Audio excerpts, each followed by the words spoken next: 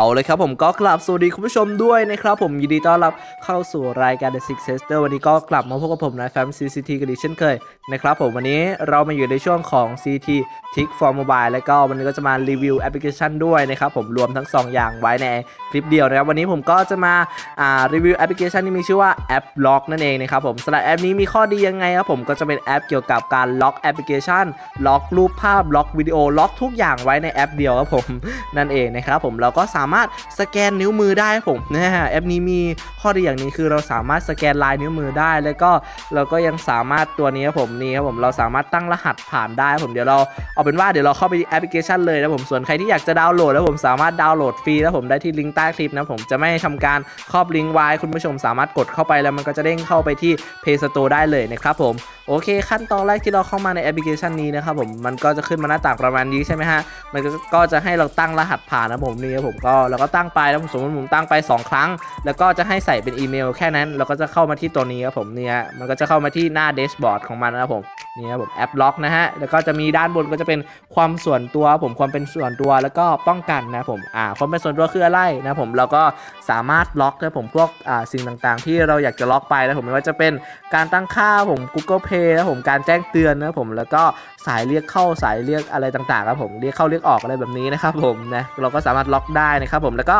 ยังมีเป็นล็อกด้วยสวิตช์ครับผมแล้วก็สามารถเอ่อเปิดปิดได้ครับผมนะเวลาเราจะเปิดเราก็ต้องปลดล็อกอันนี้แล้วค่อยเปิดนะครับผม ถ้าเราจะปิดแล้วก็ค่อยปิดนะครับผมนะประมาณนั้นเลยนะครับผมโอเค ต่อมาครับผมก็จะเป็นทั่วไปครับผมก็จะเป็นแอปพลิเคชันต่างๆครับผมที่เราสามารถล็อกได้ทั่วไปเลยนะครับผมอันนี้มีข้อดีอย่างหนึงก็คือการสแกนลายนิ้วมือนั่นแหละฮะเราสามารถสแกนลายนิ้วมือได้ครับผมเวลาเราจะอ่าปลดล็อกมือถือนะครับผมถือว่าดีมากๆครับผมนะเราสามารถปลดล็อกแอป ด้วยการสแกนลายนิ้วมือนะครับผม สำหรับแอปนี้นะผมก็มีข้อดีหลายอย่างนะผมไม่ใช่แค่การอ่าล็อกแอปพลิเคชันนะผมมันก็จะยังมีข้อดีอีกอย่างหนึ่งก็คือการอ่าเก็บอ่าพวกรูปภาพแล้วผมพวกวิดีโอต่างๆ ที่เราสามารถเก็บไว้ในห้องนิรภัยนะครับผมนี่นะฮะเราสามารถเก็บไว้ในห้องนิรภัยเราก็บวกรูปภาพที่เราอยากจะเก็บแล้วผมแล้วก็เอามาเก็บไว้ในห้องนิรภัยกับวิดีโอครับผมเราสามารถอ่าเก็บไว้ได้นะผมทั้ง 2 อย่างเลยนะครับผมส่วนอันต่อมาก็จะเป็นห้องปกติครับผมเราก็สามารถเก็บพวกเบราว์เซอร์ของเรานะผม SMS นะครับผมแล้วก็เป็นอ่าเซลฟี่ผู้บุกรุกอะไรแบบนี้แล้วก็เก็บไว้ได้นะครับผมนะก็ประมาณนั้นเลยนะครับผมส่วนอื่นๆ คืออะไรอื่นๆ คือจะเป็นพวกแอปพลิเคชันนะผมต่างๆครับผมที่เราสามารถอ่า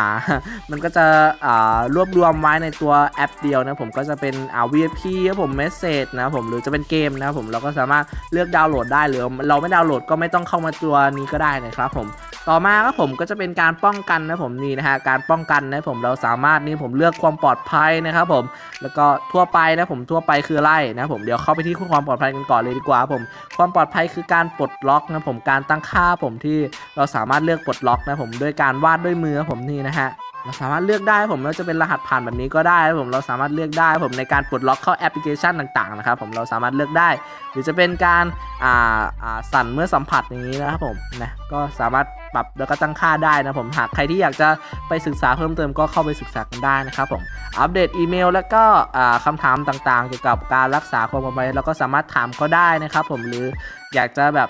สมมติเราจะเข้ามาที่แอปพลิเคชันนี้อีกรอบนึงในเครื่องอื่นอย่างนี้ เราก็สามารถใช้คำถามพวกนี้เพื่อปลดล็อกเข้ามาได้นะครับผมโอเค ประมาณนั้นเลยนะครับผมเวลาเราจะาใช้ตัวแอปพลิเคชันนี้ในเครื่องอื่น เราก็ใช้แบบนี้แหละฮะเราก็ต้องปลดล็อกแบบนี้นะครับผมแล้วก็ ไปใช้ในเครื่องอื่นได้นะครับผมโดยที่ความปลอดภัยต่างๆครับผมมันก็จะอยู่ในอยู่ในนี้นะผมไม่ว่าจะเป็นห้องนิรภัยห้องอะไรต่างๆ มันก็จะอยู่ในนี้แล้วก็แล้วก็เอาไปใช้ในเครื่องอื่นได้ทันทีนะครับผมถือว่าดีมากๆครับผมโอเค ต่อมาครับผมก็จะเป็นโหมดทั่วไปครับผมโหมดทั่วไปคืออะไรก็เวลาเพื่อนๆไม่มีพวกที่เป็นโหมดประหยัดพลังงานในของมือถือของคุณผู้ชม อย่างเช่น มือถือที่มันเก่าแล้วอย่างนี้นะฮะมันก็จะไม่มีโหมดนี้ครับผมเราก็สามารถเปิดปิดได้ครับผมแล้วก็โหมดป้องกันขั้นสูง แล้วก็ยังจะมีพวกอนุญาตให้ออกใช้ได้ชั่วคู่ผมออกได้ชั่วคู่อย่างนี้นะครับผมกดล็อกนะผมหลังจากเปิดหน้าจออย่างนี้เราก็สามารถเปิดได้นะครับผมโอเค เลือกศึกษากันได้เลยนะผมสำหรับพวกนี้นะฮะต่อมาครับผมก็จะเป็นมายากลนะผมเราสามารถซ่อนตัวแอปล็อกได้ผมนี่เราสามารถซ่อนตัวนี้จากหน้าจอหลัก หรือจะเป็นการซ่อนนะผมแบบอ่าเป็นแบบเอ้ยไม่ใช่ซ่อนดิอ่าหรือจะเป็นอ่าแป้นพิมพ์แบบสุ่มครับผมเราก็สามารถอันนี้ดีมากๆครับผมผมยอมรับเลยว่าดีมากๆครับผมสำหรับใครที่แบบ เอ้ยแบบอ่าสมมุติอ่าเราอยากจะแบบตั้งรหัสแบบที่มันมันแปลกใหม่กว่าอย่างอื่นนะผมนี่ครับผมเราสามารถเลือกได้ผมตรงนี้ครับผมนี่มันจะตั้งมาให้เลยครับผมเราสามารถมันไม่ใช่แบบเรียงมาเป็น 1 2 3 4 5 อย่างนี้นะครับผมมันจะเรียงแบบ 5 6 7 1 อะไรแบบนี้นะผมมันก็จะเรียงแบบมั่วๆมาให้นะผมเราก็สามารถเลือกได้นะครับผมอันนี้ก็ไม่รู้นะครับผมว่ามันเกี่ยวอะไรกับตัวนี้ไหมนะผมต่อมาครับผมก็จะเป็นทีมนะผมเกี่ยวกับการปลดล็อกต่างๆนะครับผมอันนี้ดีมากๆครับผมอันนี้เดี๋ยวจะเปิดให้ดูนะรอสักครู่หนึงครับผม แอปนี้นะผมสามารถดาวน์โหลดฟรีไม่เสียค่าใช้จ่ายอะไรทั้งสิ้น แล้วก็ดาวน์โหลดได้ที่ลิงก์ใต้คลิปนะครับผมนี่นะฮะมันสามารถเลือกครับผมเลือกตัวปลดล็อกของเราได้ผมเราสามารถเลือกวิธีการปลดล็อกของเราได้เวลาเราจะเข้าแอปต่างๆครับผมเราสามารถเลือกได้เลยนะครับผมเราก็สามารถเลือกในการดาวน์โหลดได้นะครับผมนี่นะฮะเราสามารถเลือกได้เลยครับผมแล้วก็ดาวน์โหลดแล้วก็ติดตั้งอะไรแบบนี้นะครับผมแบบนี้เลยนะผมเลือกดาวน์โหลดได้นะครับผมผมยังไม่ดาวน์โหลดนะตอนนี้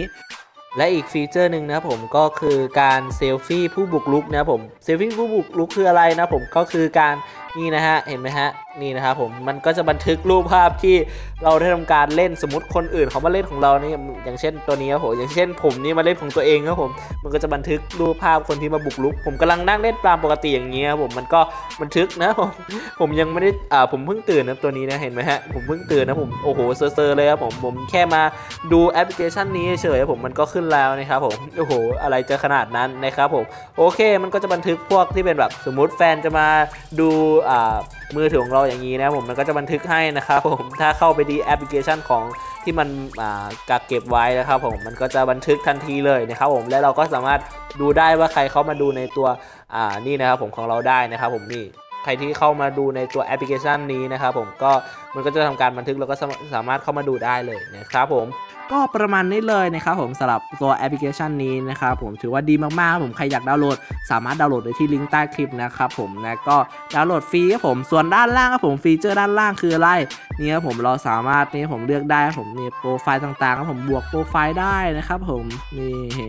ก็จะเป็นการบวกโปรไฟล์แล้วก็ตัวนี้นะครับผมก็เป็นบวกโปรไฟล์เหมือนกันนะผมเราสามารถบันทึกโปรไฟล์อย่างเช่นพวกนี้ผมที่เราได้ทำการล็อกไว้แล้วก็บันทึกไว้อย่างนี้นะครับผมอ่ามันก็จะทำการจดจำไว้ให้นะครับผมประมาณนั้นเลยนะครับผมต่อมาครับผมก็จะเป็นการตั้งเวลาล็อกนะครับผมของแต่ละแอปนะครับผมเราก็สามารถเลือกได้นะครับผมแล้วก็ตั้งเวลาล็อกนะครับผมเอ้ยตั้งล็อกนะครับผมการอ่าเกี่ยวกับ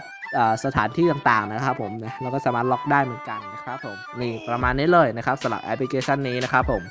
ก็โอเคนะครับผมก็วันนี้ก็จะมารีวิวแค่นี้แล้วกันนะผมหากใครที่อยากดาวน์โหลดสามารถดาวน์โหลดฟรีได้ที่ใต้คลิปนะครับผมสำหรับคลิปวิดีโอนี้ก็มีเพียงเท่านี้นะครับผมก็มาแนะนำนะครับผมสำหรับใครที่อยากจะล็อกตัว